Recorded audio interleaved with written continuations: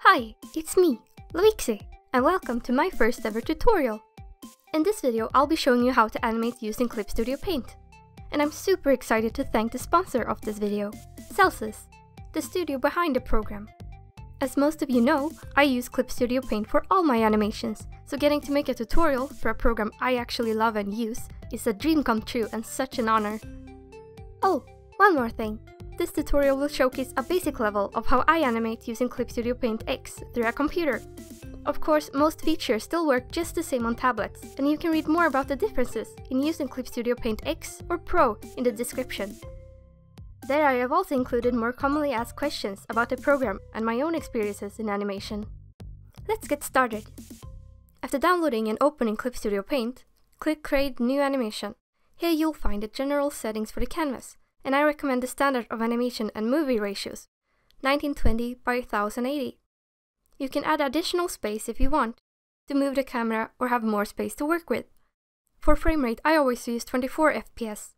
I never actually animate 24 frames per second, but this gives you much more freedom when timing your frames. Name it if you want and let's go. You might notice how my workspace looks different, and that is because I've customized how I want my tools and settings to be placed out. You can move and remove anything to your own liking and make your workflow easier. I have one workspace for illustration and a different one for animation. Now that we have our setup, let's get into some technical settings. The most important shortcut to learn outside of the common tools is flipping between the frames. Go to File, Shortcut Settings, choose the main menu and go down to Animation and move frame. Pick a key for Next keyframe to flip forward, and another to flip back. Time to add an animation folder. It'll show up like this, and it's essentially one layer block of the animation. Move this blue bar to lengthen or shorten the animation, and now we can add the actual frames. An incredible tool Clip Studio Paint uses for animation is the vector layer. It works pretty much the same as a raster layer most of you might be familiar with, but with some cool quirks. For starters, you can resize and move parts without them getting blurry, but what's even greater is that turning on the vector eraser and setting it to intersection, you can remove lines with ease. You can also change parts of, or the entire line width, color, and brush type with the help of the operation tool.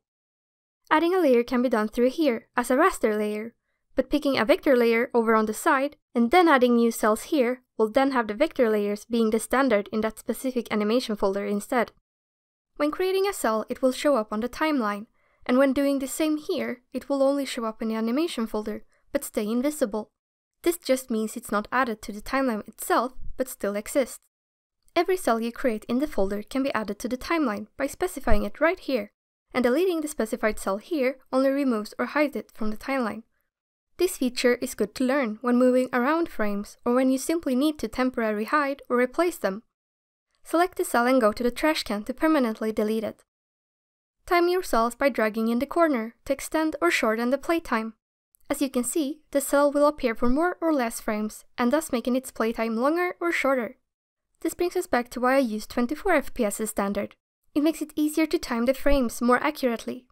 You can drag to select multiple frames to shorten or extend, or drag the whole animation by grabbing the top. I recommend staying organized and using normal layer folders for each component. This way you can keep better track of where you are and what layer to work on. Duplicate an animation folder or a cell by right-clicking and duplicating it. Specify it to add it into the timeline. One way of copy-pasting a specific part of a cell to another is once again by using vector layers and the operation tool. Drag or click to select which lines you wish to copy-paste, and then use Ctrl-C and Ctrl-V to add it into the new layer. This button here enables the onion skin. This helps you see the previous and following frame. Another great tool to use is the keyframe option. Activate it on an animation folder and select the operation tool to move the animation. You can also manually add keyframes or move them along the timeline to change the timing. This is usually known as tweening, and it can be applied for both backgrounds, body parts, and more. Using keyframes on folders with already tweened and separate parts inside works just as well. That way you can tween individual body parts, but also move the entire body at the same time.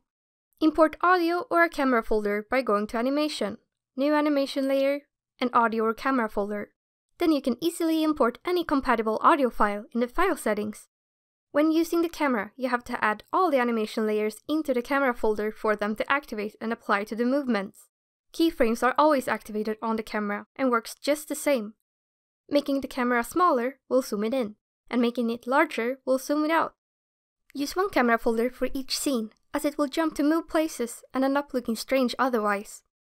For today's animation example, I have created a sketch with raster layers, separated each part for what I plan to animate in different animation folders, and choosing the timing of everything.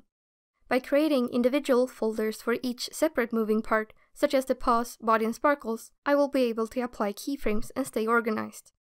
I start lining using vector layers, and once I'm satisfied, I rasterize it so I can use the fill bucket and lock the layers to color the lines.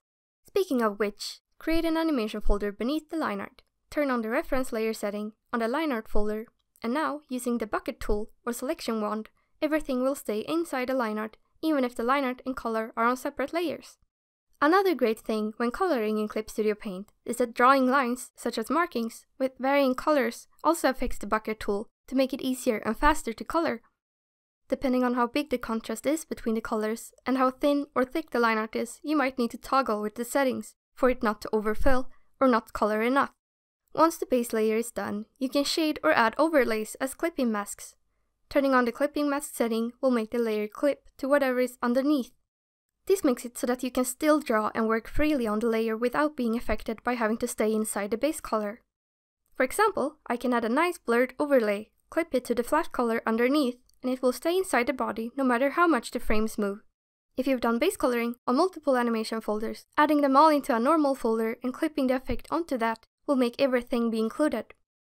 As mentioned before, you can also lock the layers. This also makes everything stay inside what has been drawn on that layer, but it only applies to that specific layer.